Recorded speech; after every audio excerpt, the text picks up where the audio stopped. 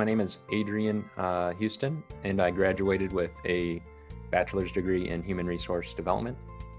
I studied abroad uh, the fall semester of 2019. I was in Florence, Italy.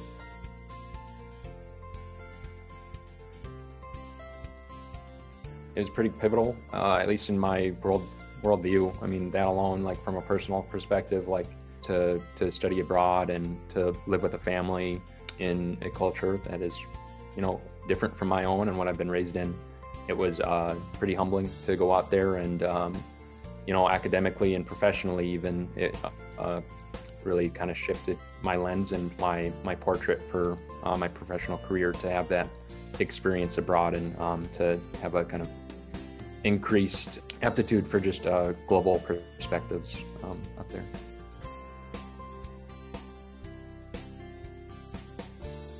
It's tough to put one as the most meaningful. I mean, uh, you got to start off with the family. Me and my my host mom, she was um, kind of like the, the main point of contact for me out there. So, uh, kind of each day, you know, working with language barriers, I, I had some Italian knowledge walking in, nothing near fluent. So, um, to to put my trust into someone that I was like living with and only half able to speak with um, to the best of my abilities. Um, it was a really awesome connection where she was encouraging me, like failing uh, with the language, like it's part of learning. So um, that was a really amazing connection to get there. And then I'll also give a shout out to I did a, an internship while I was abroad. Um, so Marco, my boss, he was pretty like just uh, open and honest with feedback and everything with my experience out there to help really get my feet down uh, with an internship abroad.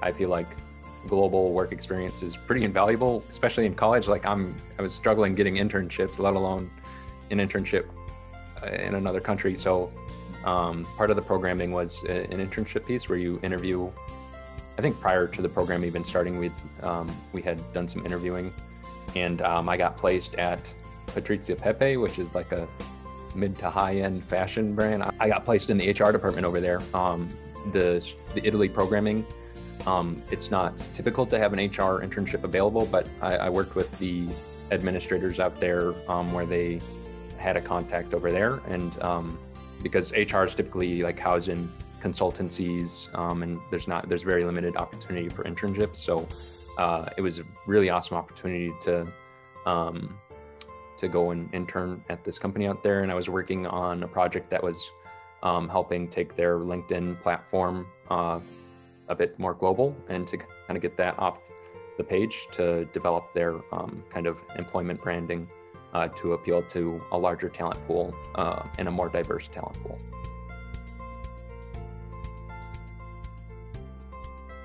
Part of the programming um, for the Florence Study Abroad program that I was in was a group, the whole group. We did a, a trip down to Sicily, so I got to go to my roots uh, down there. We got to stay with um, our whole group of study abroad students, and they had programming through the whole uh, week, um, ending in a summit of Mount Etna, which was like unbelievable. Um, let alone Sicilian food, like you eat you eat so good down there, so that was really awesome and you had like an opportunity to um, do a, a meal with the family down there. I mean, like I could go on, um, but that's just the, the the experience that they presented for that week uh, down in Sicily was uh, bar none for me. They did a really awesome job. The, the programmers out there and the staff is they were excellent. They were all so fun in their own regard.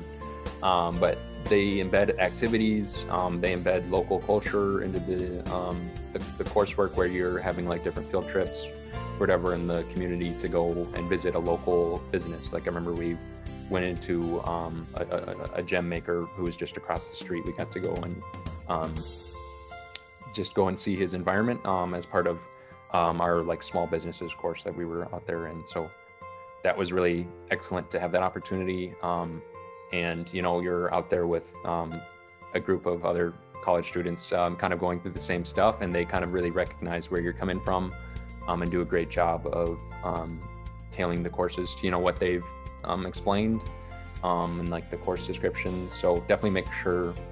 Um, I was glad that I like really paid attention to the courses I was choosing because there is some like intellectual work you'll have to do out there, and um, some assignments are they'll they'll get a they'll get some work out of you.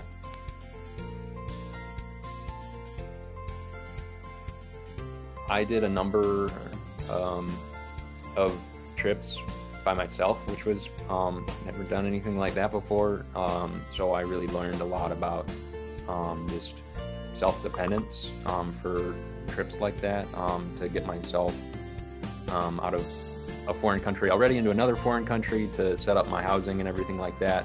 and in some instances, I was like meeting folks out there, but to know that I could, you know, get myself from A to B totally by myself and um, navigate, you know, uh, language barriers um, or any other heightened um, uh, experiences that were going on at the time. So that w- that was really uh, important for me and just my development, you know, to then moving out of college afterwards, you know, to ha- have a bit of self dependence after all that. It was pretty amazing.